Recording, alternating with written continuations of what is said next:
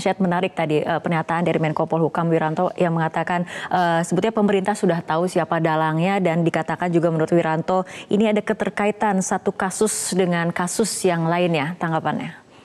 Iya memang jelas kalau secara politik itu sudah gamblang kok siapa dalangnya. Hmm. Ya ini kan yang berkepentingan siapa, yang berkonflik kan. Hmm. Ya gampang tinggal lihat di situ. Hmm. Tapi masalahnya sekarang untuk dibawa ke proses hukum itu harus dicari dalang yang berkaitan langsung dengan perbuatan-perbuatan kekerasan itu. Hmm. Ya sampai sekarang baru ditemukan itu ya seperti di Petamburan itu yeah. yang kelas 5 juta apa 6 juta. Hmm. Ya itu bisa ditelusuri tapi saya tidak yakin itu bisa sampai ke dalang yang sebenarnya itu. Yeah. Kecuali nanti uh, Polri kerjasama dengan PPATK dengan perbankan hmm. bisa mengungkap atau bisa memblokir transaksi gajah hmm. dalam ukuran triliun. Hmm. Nah, di situ baru akan kelihatan. Dari situ bisa ditelusuri. Tapi kalau dari bawah, saya tidak optimis itu akan sampai ke apa yang hmm. sebenarnya hmm. yang bagi-bagi banyak kalau 5 juta itu bisa ribuan orang kan yang dapat kebagian dari sini okay. untuk kelompoknya ini mendanai Artinya PPATK ini juga perlu dilibatkan untuk menelusuri siapa penyandang dana yang sebenarnya. Mestinya begitu Pak kalau mau tuntas. Oke, okay. tapi antara dalang dan penyandang dana, apakah memang bermuara pada satu aktor intelektual atau menurut anda ini akan ada beberapa aktor juga kemudian yang menjadi dalang ya, dan juga ya, penyandang ya. dana? Kalau ya, dalang yang sebenarnya adanya satu hmm. dalang yang tersentral itu ya jelas sekali di situ hmm. bisa dilihat ya.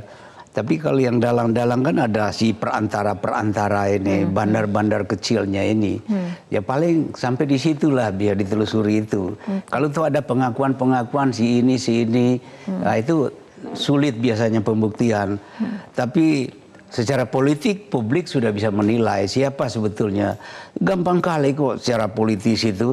Yang berkepentingan siapa sih? Hmm. Adanya ini sudah jelas tidak mau jalan konstitusional, mau jalan rusuh.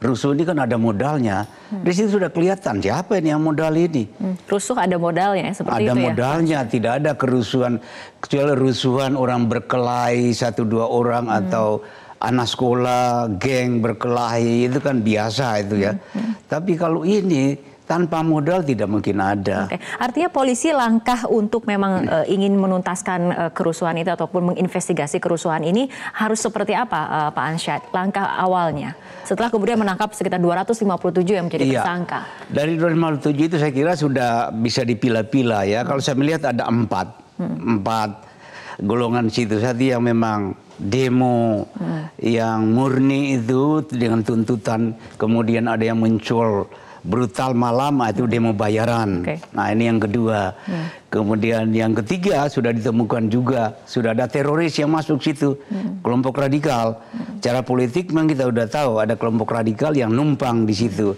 Tapi ini juga nggak jelas mana yang numpang, mana yang menumpang, mana yang ditumpang ini jadi nggak jelas ini. Hmm.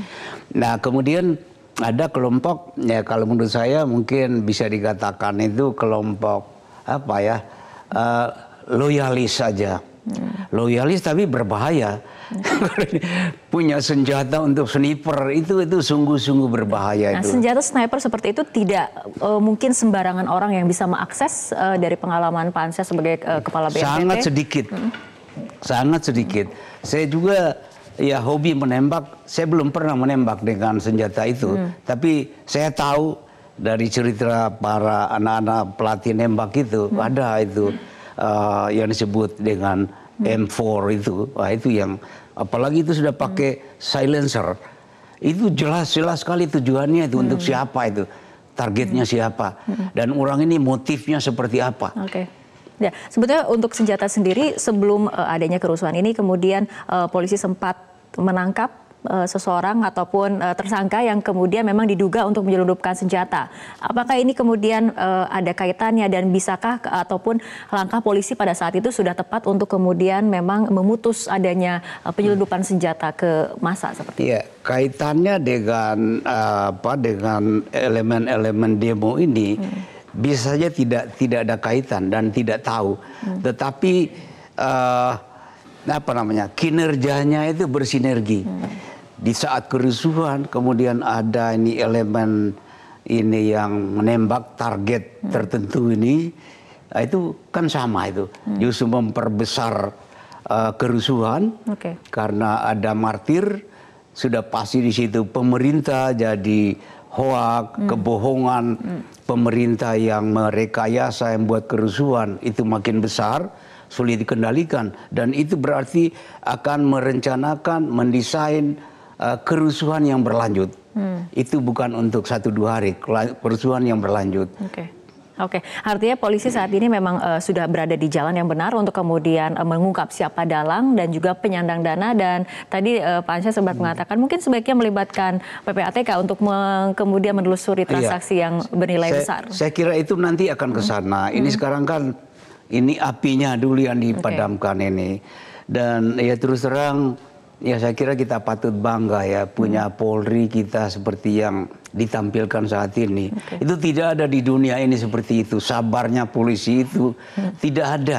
Kalau di di Amerika saja sudah begitu ya sudah kita nggak bisa bayangkan itu.